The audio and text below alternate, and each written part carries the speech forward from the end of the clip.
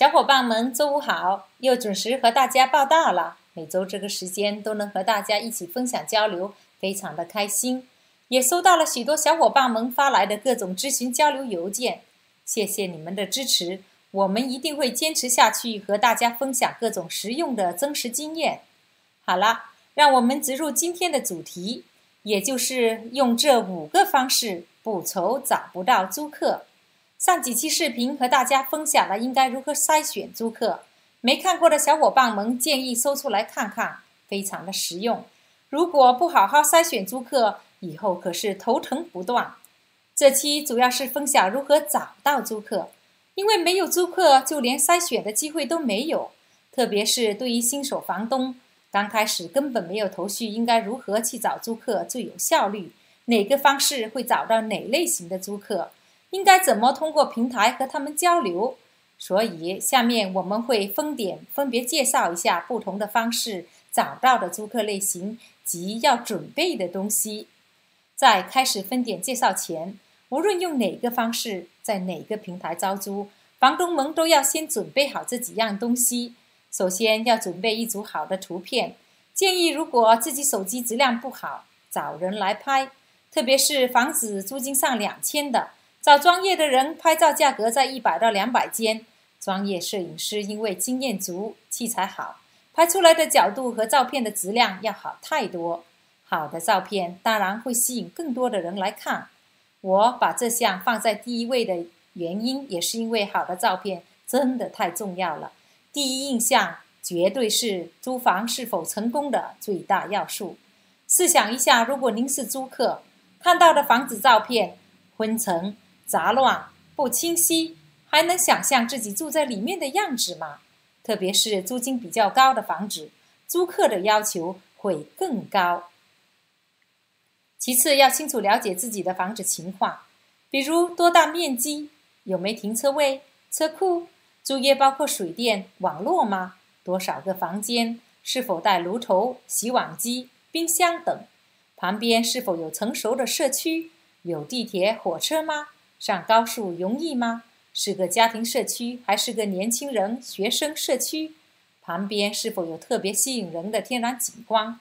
是否要求租客不能带宠物？是否要求租客不能在室内抽烟？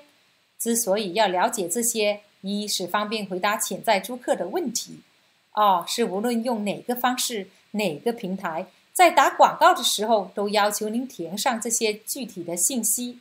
信息填得越具体。越节省时间，比如您要是写上不包含洗碗机、冰箱、炉头等，想要这类型电器的租客就不会问了。其中关于这点，以后会开一期聊聊什么应该配备，什么不应该配备，为什么要这样。大家记得订阅我们的频道及打开旁边小铃铛，以免错过重要的信息。最后，准备好一段清晰明了、优质的介绍，非常的重要。潜在租客可以通过这段描述清楚地看到您房子的优点，比如所在的位置很便利，房子有哪些方新，哪些配套可以让您在别的招租广告中脱颖而出。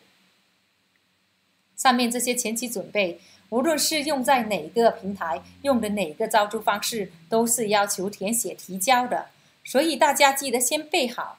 好了，下面让我们直接分点介绍最常用的招租方式。首先，第一个方式，也就是通过 K G 几这个平台。为什么我会先提到这个平台？相信大部分生在加拿大的朋友们都听过这个平台，许多人也用过，算是一个比较大众的平台。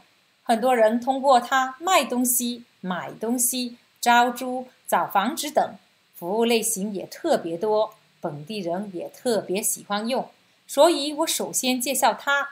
这个平台一般忘记发出招租广告后，都会有人来查询。一般他们的留言会通过邮件的方式来通知您，回答他们的时候会弹出一个对话的框框，直接在那里沟通最简便。我的做法是先要到他们的邮件，把租客申请表发给他们填，填完后给符合要求的租客进一步电话沟通。看是否沟通顺畅，该潜在的租客是否坦诚配合等，通过电话筛选，再让他们来看房。如果不是租房的旺季，建议大家付费推广。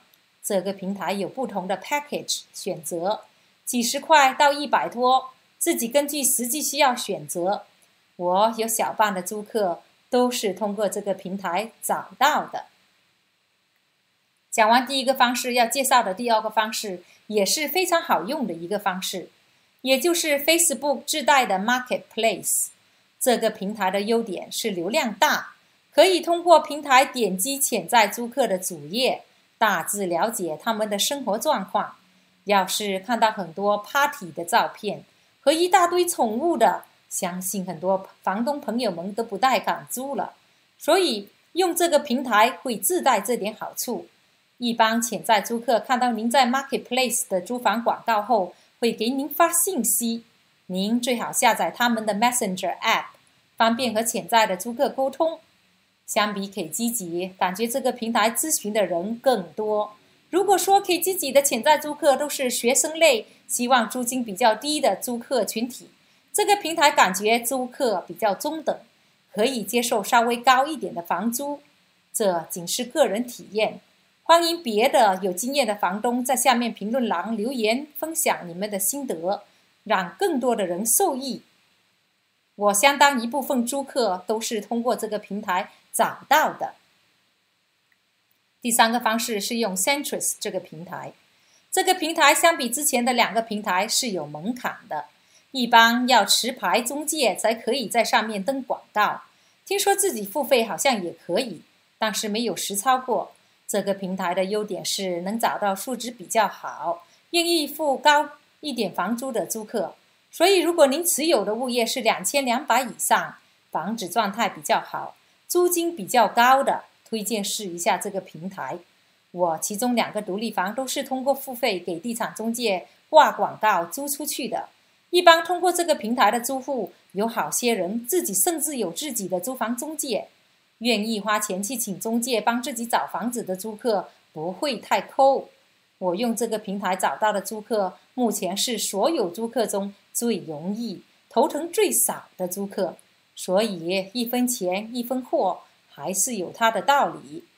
第四个方式是用 Rumper 这个平台，这个平台的优点是界面非常的清晰，容易上传资料，和潜在租客沟通比较方便。可以通过这个平台看到他们的手机号码，也有一些流量，但目前还没有通过这个平台找到租客。不过使用体验还是相当不错，大家可以去试试。最后一个方式，也就是用 Gpopio 这个平台，很多人用这个平台卖房出租，很大一部分的原因是用这个平台卖房不用付中介费用，等于房主自己整理资料、自己挂广告、出售及出租，好处就是省掉中介费，特别是卖房的中介费可是一项大支出。但是相对租房这项优势就没有这么明显了，因为别的平台也有这个功能。虽说如此，通过这个网页还是有一些流量。潜在的租客大部分可以通过这个呃网页直接电话房东咨询，所以还是值得试试。网铺得越大，受众越多，想尽快找到好租客，多做些平台总是没错的。在这个平台上面，唯一的比较麻烦的是，他们对照片的要求比较高，一般的照片很难上传上去。到时大家留意，按照照片要求来调节了。好了，上面五个最常用的找租客方式都通过自己的使用体验给大家详细分析了，大家可以根据自己的需要各取所需。当然还有些小平台，我身边好友们告诉我成功招租过的，因为时间原因就不赘叙了。相信如果好好尝试上面五个平台，已经能给您找到很好的租客。别的有更多经验的小伙伴们，欢迎在下面评论栏留言，让更多人受益。看到这里的小伙伴们，别忘了给我们点个赞，谢谢你们的支持。好了，这期就聊到这里啦，我们下周五再见喽。